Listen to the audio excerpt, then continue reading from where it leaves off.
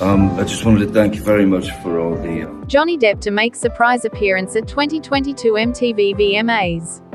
The Pirates of the Caribbean star, 59, will reportedly be making a surprise appearance at the 2022 MTV Video Music Awards next weekend, according to TMZ. The outlet reports that Depp has been in talks with the show's production team to dress up as the network's Moonman mascot.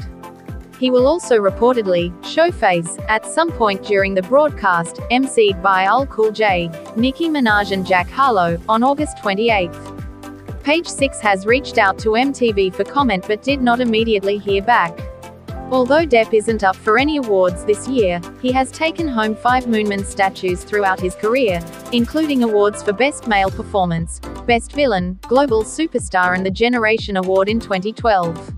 The 2022 Global Icon Award will be presented to the Red Hot Chili Peppers, while Minaj, 39, is set to receive this year's Vanguard Award.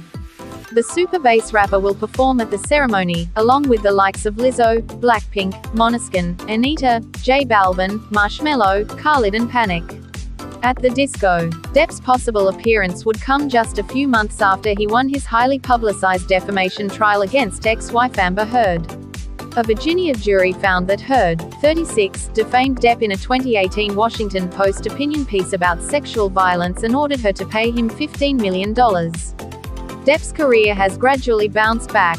As Page Six previously reported, the actor will direct a film about Italian artist Amedeo Modigliani, and produce the movie alongside Al Pacino and Barry Navidi. Depp also inked a multi-year, seven-figure deal earlier this month to continue appearing as the celebrity face of Dior's best-selling Sauvage cologne, TMZ reported.